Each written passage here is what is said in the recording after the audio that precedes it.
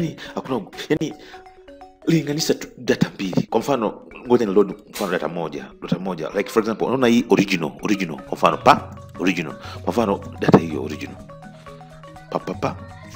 Sasa unalinganisha na nyingine. Kwa mfano kama nime, kuna kazi ambayo nimefanya hapa kwenye nimefanya maybe umeofa naona kama kwenye hii papapa zote mbili unalinganisha. Yani inakuonyesha bana nimeedit hapa hii ilikuwa hivi na hivi then nikaedit hapa nikabadilisha 02 nikabadilisha 9 eh, na na maana na wewe ina maana unaweza ina maana ukijua kama unabadilisha mara hapa na hapa. Na ukija siku nyingine just change that then is done. Nigga that's how I do. Compare file mbili ujue wapi ambao pamebadilisha. That's all nigga. Okay ciao.